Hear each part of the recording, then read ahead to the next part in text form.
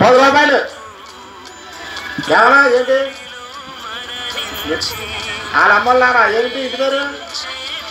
నాచా ఆ నాచ గారు. పది రూపాయలు. పది రూపాయలు. యాభై. యాభై. అరవై. ఎనభై. డెబ్బై. ఎనభై. ఎనభై. వంద. మా పాట వంద. వంద. ఒకటోసారి వంద. బరువు అని చేయలేతుంది. రెండోసారి వంద. వంద. మూడోసారి వంద. మౌనిక ఇలాగే చెప్పు వంద. కొంచెం పెట్ట మిలంకన్ గారు జయమ్మ గారు తీసుకొచ్చారు. నాలుగు యాపిలీలు నాలుగు కమలాలు. పది రూపాయలు. నూట యాభై. నూట యాభై.